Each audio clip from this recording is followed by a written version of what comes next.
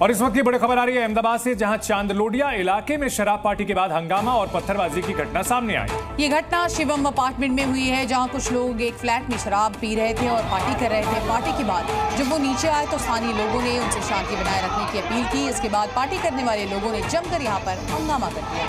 तो देख सकते हैं आप तस्वीरों में कि किस तरह से हाथ में तलवार लेकर के हंगामा किया जा रहा है। जी न्यूज़ पर एक्सक्लूसिव तस्वीरें आपको हम अहमदाबाद की दिखा रहे हैं। यहाँ पर स्थानीय निवासियों का आरोप है कि उन्होंने पुलिस को सूचना दी लेकिन पुलिस की ओर से समय पर कार्रवाई नहीं की गई। इस दौरान शरारती तत्वों ने सोसाइटी में जमकर तोड़फोड़ की है। जिससे लोगों में भय का माहौल है और असुरक्षित वो महसूस कर रहे हैं। आपको बता दें पत्थरबाजी भी की गई है।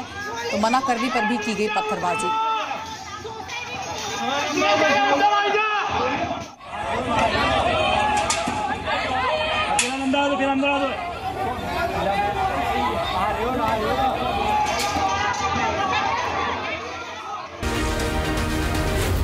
Z News.